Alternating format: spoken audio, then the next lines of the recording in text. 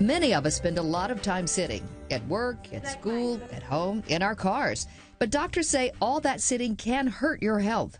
Definitely six hours or more is absolutely bad for you. And that's why you won't find Mercy Medical Center Dr. Jonathan Rich sitting at his desk. Instead, he works at his computer station standing for hours because he says it is healthier. What I'm concerned about is heart disease is a biggie um, because it's a more sedentary lifestyle. So, depending on where you read, sometimes you may have two times the risk of having a heart attack.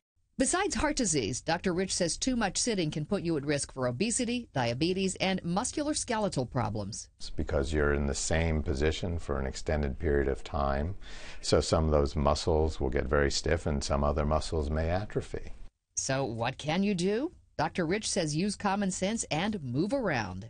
Choose to get up and walk around, just go for a walk. Or if you need to send a message to a coworker instead of emailing the person, if you can walk to their desk, you're building it into the day. Fidgeting is good. As long as they're sitting in the desk, just fidget.